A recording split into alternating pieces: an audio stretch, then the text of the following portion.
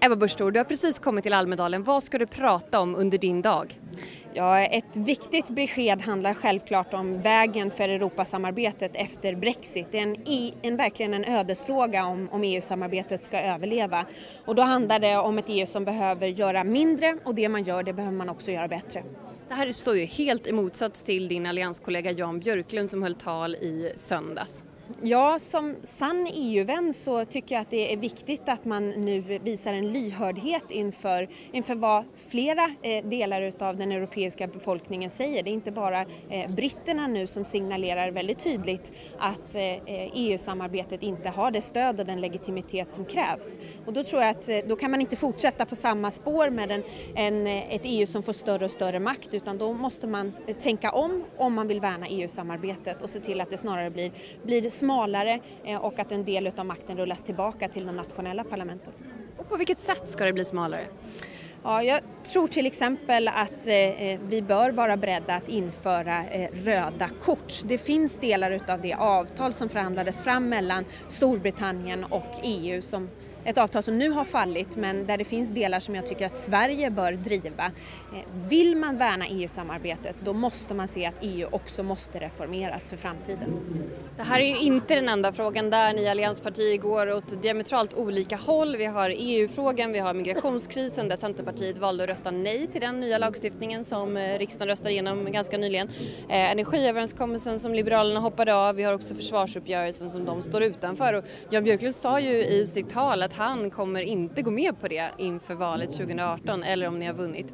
Hur ska ni kunna formas, eh, forma ett lag igen?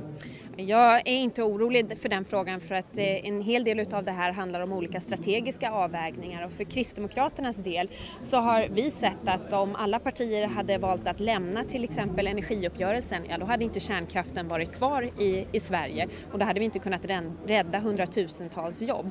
Det är ju en ambition att rädda kärnkraften som vi delar med Liberalerna. Sen hade vi, eh, tog vi olika beslut kring strategin om hur man skulle värna kärnkraften. Så att jag är inte orolig för att vi inte kommer komma överens i sak men i opposition så väljer vi lite olika vägar och det måste vara okej. Okay.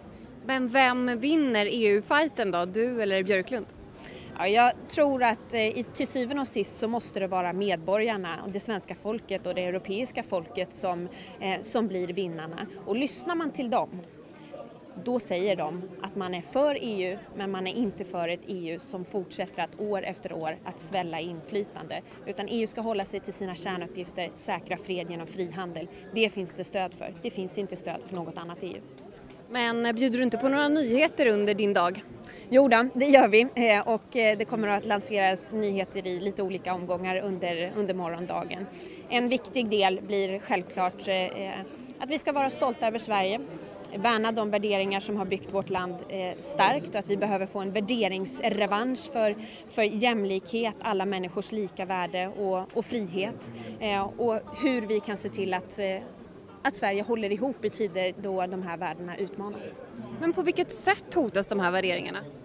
Ja, vi ser ju bland annat att det är inte självklart att, att alla människor känner att man kan röra sig fritt i alla bostadsområden.